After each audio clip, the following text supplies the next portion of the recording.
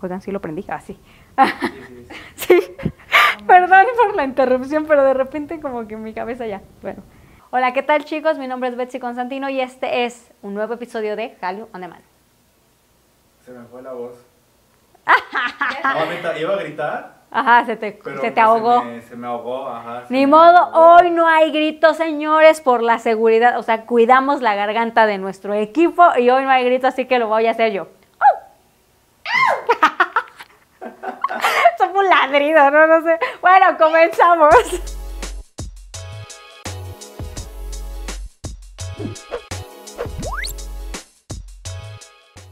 Bueno, el día de hoy vamos a reseñar algo que, ay, ustedes saben, si han visto los capítulos de Hallyu the Man, que soy fan de todo lo que tenga que ver con música y sobre todo de estos programas, estos reality shows de chavitos que son trainees y que están por formar un grupo a debutar, ¿no? Estos estilo Produce, ¿qué otro es así?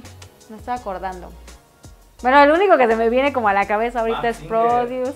No, más, más Singer es más este. Más Singer Z. No, más, más Singer es como más este. Un, no sé cómo llamarlo, un programa de revista como más cómico, ¿no? Este es de chavitos, trainees de alguna compañía importante buscando debutar en un nuevo grupo, ¿no? O sea, algo como Who's Next, por ejemplo, lo que hizo YG con Winner, etcétera. Y el día de hoy vamos a hablar del programa que está en boca de todos, que es Island, Islandia, como, como está en Vicky, Islandia. ¿De qué trata Island o de qué va la dinámica? No dista mucho de otros programas del estilo, sin embargo tiene características muy específicas que yo no había visto en otro programa y que creo que por eso vale la pena reseñarlo. Por ejemplo, vamos a hablar de que sí, señores, es un programa de Mnet y que todos ya le tenemos miedo a Mnet por todos los fraudes que ha hecho en los programas de, sobre, de supervivencia, como les dicen estos programas. ¿Por qué? Porque ya estuvo el chisme de X1, ¿no? Que, que si fue fraude del grupo, que si no fue, etcétera.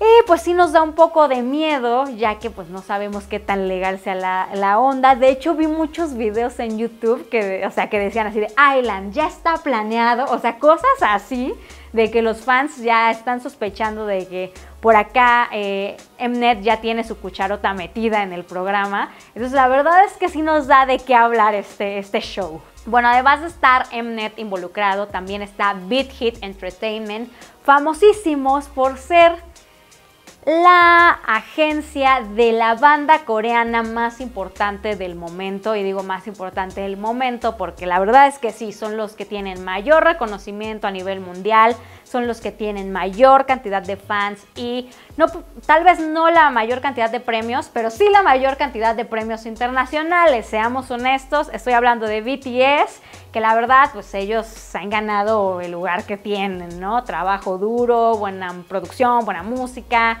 eh, pues la verdad pues, se han esforzado estos chavitos. Y Beat Hit, pues se le ocurrió la grandísima idea de decir, bueno, vamos a, ya tengo a TXT, que es otro nuevo grupo, pues qué tal si nos buscamos otro, otra banda masculina y debutamos a nuestros trainees.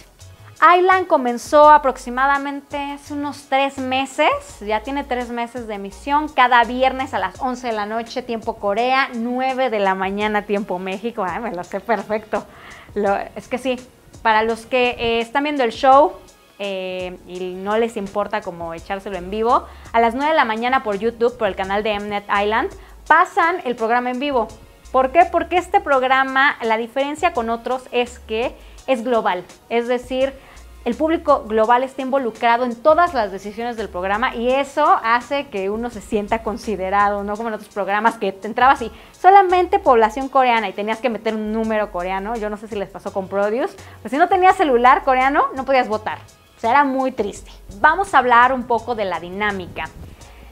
Tenemos que Beat Hit junta a 23 trainees de todas las edades, estoy, hablando de niños desde los 16 hasta los 24, si no me equivoco, bueno, no tan niños esos, no sé, no sé si sean 24, como 20 cacho, 20 cacho, o sea, 21, 22, por ahí deben andar las edades, ¿no? Son 23 trainees que vienen de Corea del Sur, de Japón, recuerdo que había gente de Malasia y gente de Vietnam.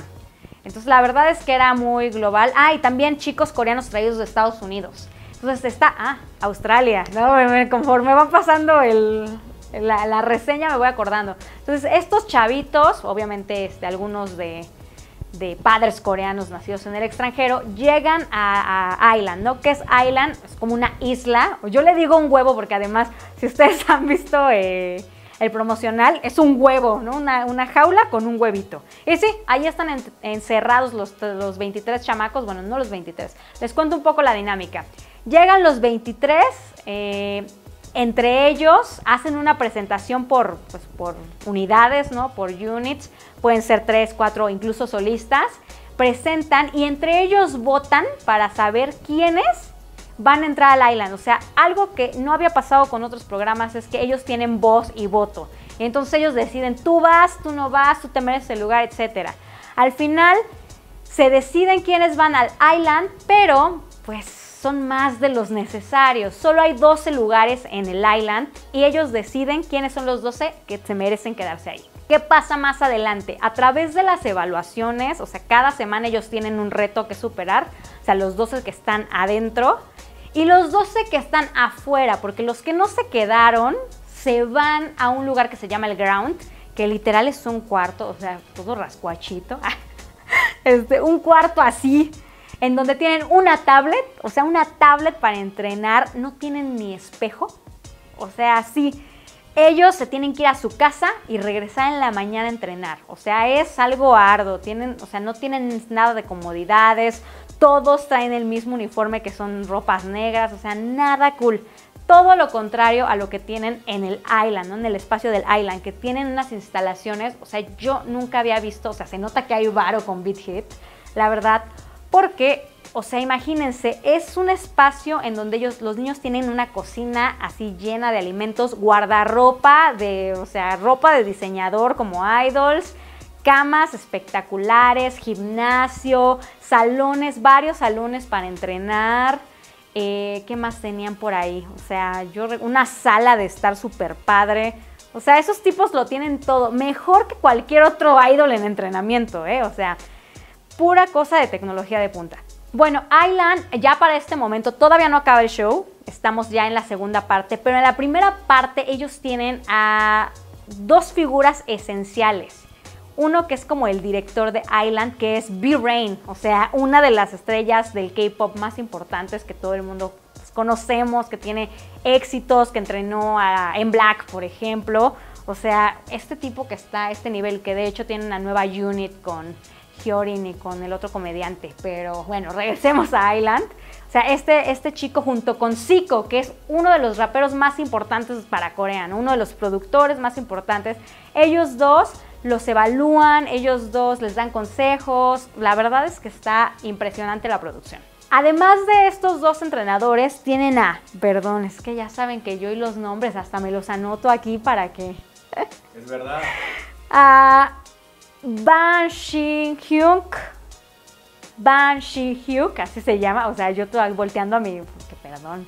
Que es el productor, el creador de BTS. Entonces, imagínense, tener al coreógrafo de BTS, al productor de BTS, al que les crea las canciones, al, o sea, crea los conceptos de estos tipos como tu evaluador principal. Qué nervios, o sea, yo no podría presentarme enfrente de él, pero bueno, tienen que enfrentarse a sus miedos.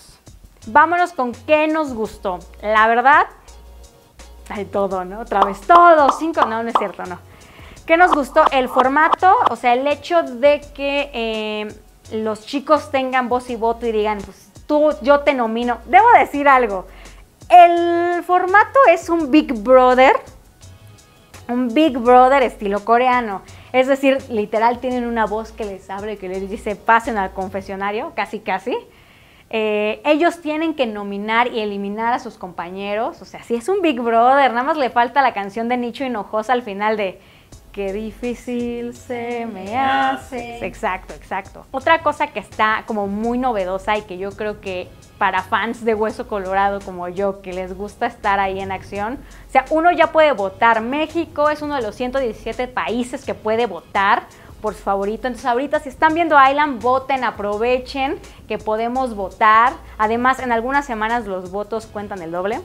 Entonces está, eso está cool, ¿no? Entonces todo eso está increíble también la parte de que pues esté alguien como B-Rain o Zico o no sé, o sea, coreógrafos internacionales como Dobu. La verdad es que está cool el equipo. Vámonos con lo que no nos gustó.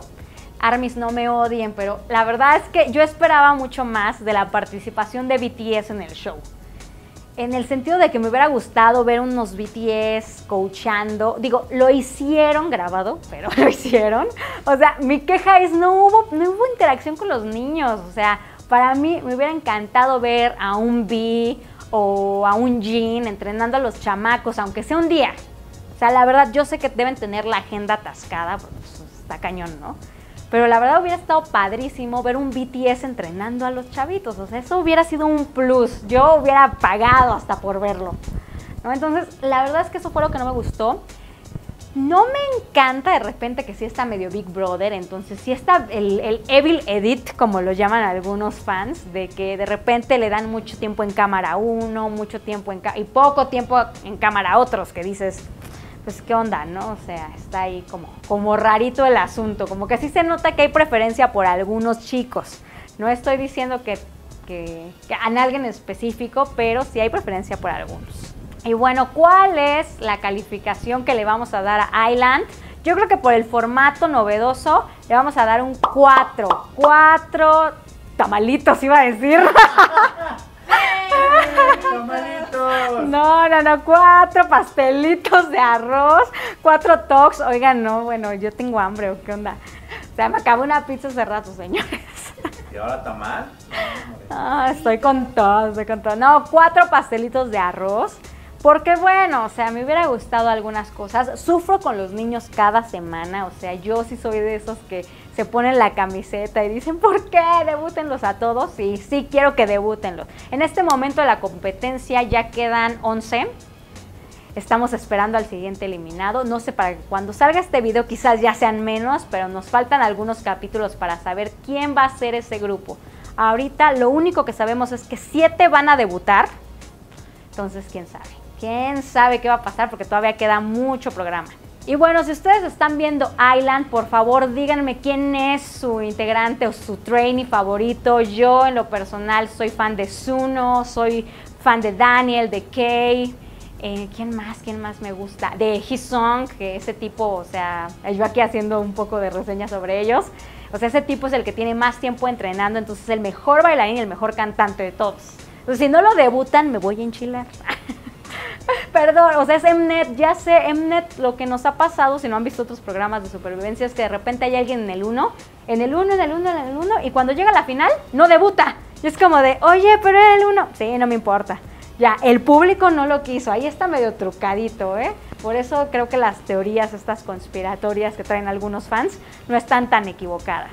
Y bueno, este fue otro episodio de Halion The Man. Si les gustó, denle like compártanos, escríbanos quién es su miembro favorito de Island. Y por supuesto, regálenos más, más este, recomendaciones de shows. Tal vez hay otros shows de este estilo que yo no he visto, que saben que soy fan.